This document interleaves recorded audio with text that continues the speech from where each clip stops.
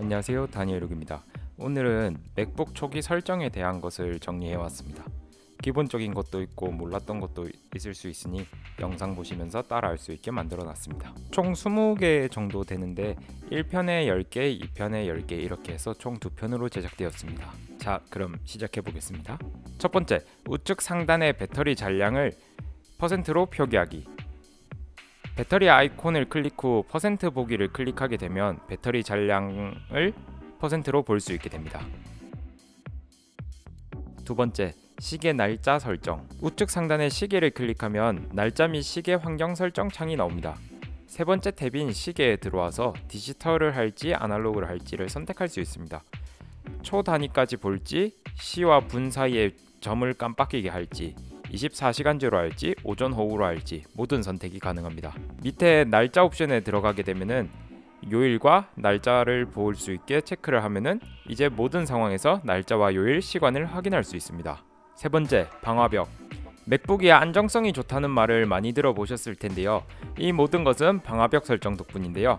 방화벽을 설정하는 방법은 시스템 환경 설정에서 보안 및 개인 정보 탭에 들어가서 방화벽 탭에 들어가면 할 수 있습니다.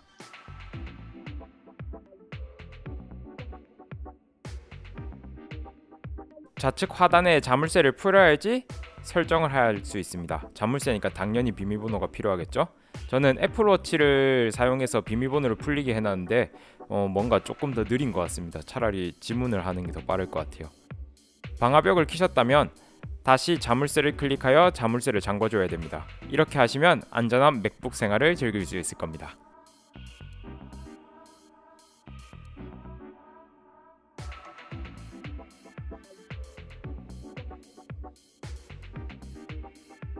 네 번째 독 설정 시스템 환경 설정에서 독으로 들어가게 되면은 먼저 독 크기를 설정할 수 있습니다. Dock을 크게 할지 작게 할지를 정한 후 확대를 체크하면은 마우스 커서가 Dock 위에 올라가게 되면은 상호작용으로 마우스 커서가 있는 아이콘이 커집니다. 저는 설정한 Dock 크기에서 조금만 더 커지게 설정해 놨습니다. 그 밑에 Dock 위치를 설정할 수 있습니다. 오른쪽으로 할지 하단으로 할지 왼쪽으로 할지 원하는 곳으로 설정하시면 되고요. 자동으로 Dock 가리기와 보기를 체크하시게 되면은 평상시에는 Dock이 보이지 않다가 마우스 커서를 하단으로 가져가게 되면은 독이 올라오는 기능입니다. 초기 설정에는 독에 원하지 않는 아이콘이 있을 수 있는데요. 그 아이콘을 제거하기 위해서는 독 밖으로 끌고 가시거나 아이콘을 보조 클릭하여 옵션 독에서 제거 하셔도 됩니다. 독에 추가하는 방법은 아이콘을 독 원하는 위치로 끌고 오시면은 그 자리에 위치하게 됩니다. Dock에는 어플리케이션만 추가가 가능합니다. 다섯 번째, 맥북 이름 변경. 시스템 환경 설정에서 공유 탭에 들어가셔서 제일 상단에 보시면은 누구누구의 맥북이라고 뜰 겁니다. 여기서 본인이 원하는 이름으로 변경하시면 됩니다.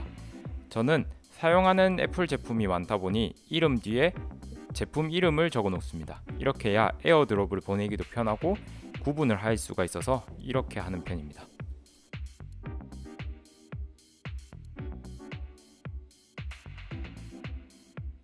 여섯 번째, 내 컴퓨터. 맥북에 입문하게 되면은 윈도우에서 쓰던 내 컴퓨터 아이콘을 찾게 되는데요. 맥북에서는 내 컴퓨터 아이콘이 없습니다. 그래서 내 컴퓨터를 만드는 방법을 설명해 드릴 건데요. 왼쪽 상단에 파인더를 클릭한 다음 환경 설정에 들어가셔서 하드디스크를 클릭하게 되면은 데스크톱에 하드디스크가 뜹니다. 맥북은 아이콘을 어디다 놔도 그 자리에 그대로 있습니다. 그게 약간 지저분해 보일 수도 있고 그걸 싫어하시는 분들도 있을 텐데요. 저같이 깔끔한 걸 좋아하시는 분들은 바탕화면 자동 정렬을 원하실 겁니다. 그럴 때는 보조키를 눌린 다음 다음으로 정렬, 자동 격자 맞춤을 클릭하게 되면은 아이콘이 이렇게 나란히 나란히 줄을 배열이 가능합니다.